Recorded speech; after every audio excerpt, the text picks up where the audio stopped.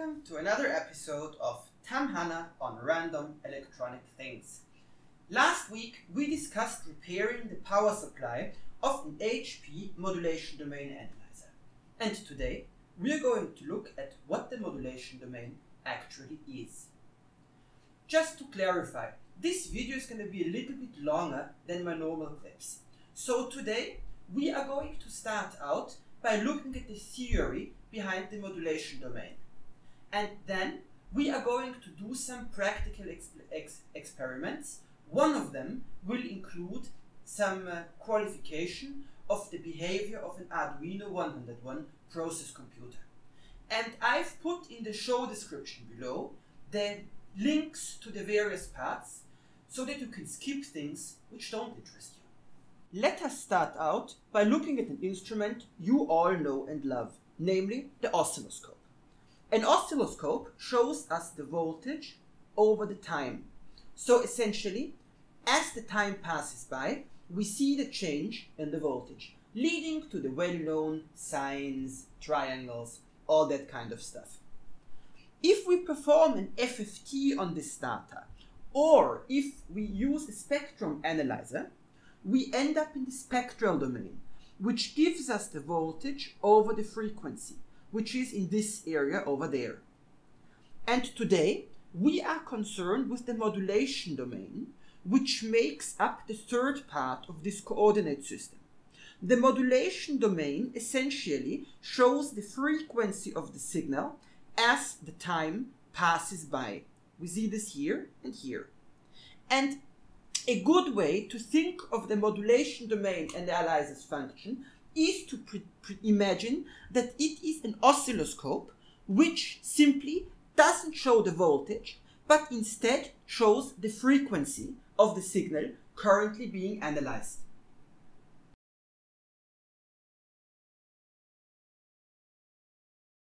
First generation Arduinos like the Uno were basically based on a simple set of routines embedded into the ROM of the microcontroller. More advanced systems, such as the Arduino 101 I'm handling here, use a real-time operating system.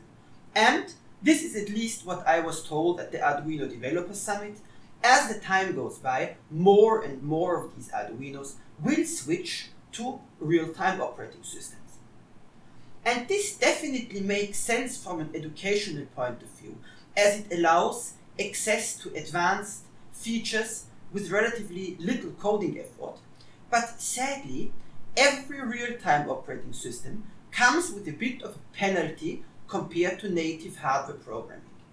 And one area where one really, really sees this is the maximum possible frequency output. I mean, yes, I know it's a contrived example, but it's nevertheless quite interesting. And, of course, because this is about the modulation domain, let's take a look at it with our MDO. As the first little test, we are going to feed an Arduino 101 with the sketch you are currently seeing on the screen.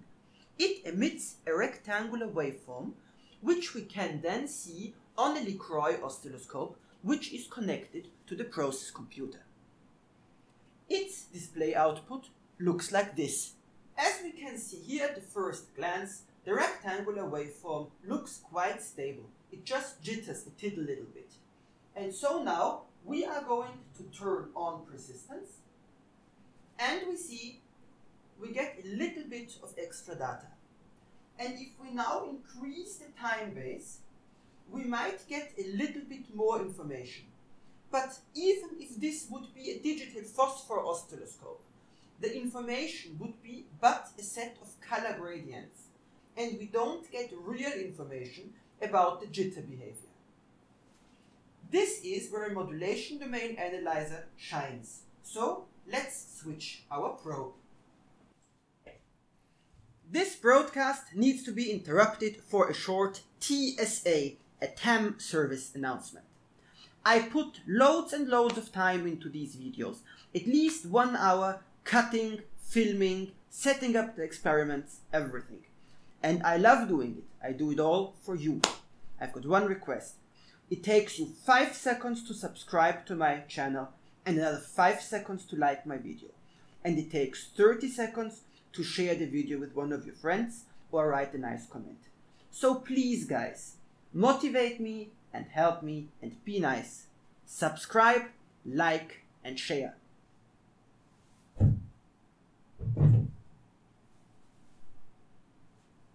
So, as we see, the modulation domain analyzer has just automatically set itself up and has started to collect some samples. And we see here that about the majority of the waveforms generated is here in the area of about 123 kilohertz. But that there also is a quite significant amount of slower waveforms, some range down into the 119 kilohertz range. And we see here, as time goes by, the diagram becomes more and more accurate. This kind of information is really important because it allows you to qualify whether the process computer is in principle suitable to your application or whether you are better served somewhere else.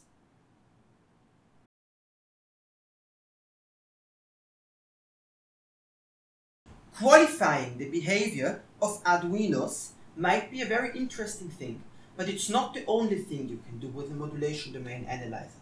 You can also use the system to find out more about function generators and malfunctions. In the following steps, I'm showing you a Präcitronic generator, which has basically just a small issue, namely that the caps are old and need to be exchanged. And this leads to slightly odd voltages during startup, but the frequency is not significantly affected. And this can be verified really, really easily with the modulation domain analyzer. The LeCroy is now all set up, and now I just have to unground the input in order to start the acquisition. And we are seeing the waveforms are being acquired. Sometimes the generator hops around a little bit, but we are starting to see that as the warm-up has completed, the waveform is usually more or less stable and is just jumping around a little bit. And now we are asking ourselves, what is wrong here? Obviously, the voltage isn't quite correct, but now the question is, what about the frequency? And now I've connected the Präcitronic to our modulation domain analyzer, which we mentioned in the last part of the video. And now it's time to get to work. To make things really simple, I have set up the time base and the vertical span before, and now we're simply clicking the Run button. And as we see, the modulation domain analyzer gets to work. Here at the bottom, we are seeing that the samples are being collected, and here we see a histogram showing the frequency distribution over time. And as we see, our generator actually is pretty darn stable because you see that these two values are not very much apart. So be careful, these modulation domain histograms, they can look quite evil if you uh, are not carefully looking at the border values.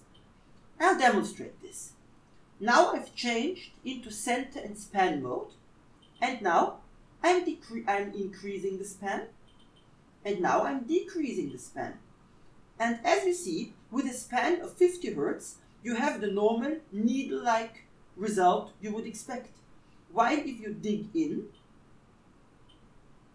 the histogram becomes wider and wider. With this, we've come to the end of our little video on modulation domain analysis.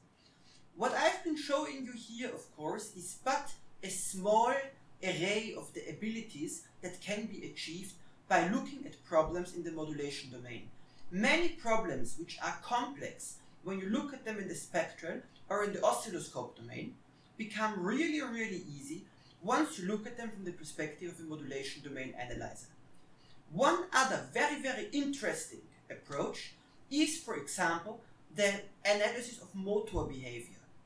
If you put an encoder on the motor shaft and you simply generate a click every time the motor turns over, you can analyze the RPM counts very effectively with your modulation domain analyzer.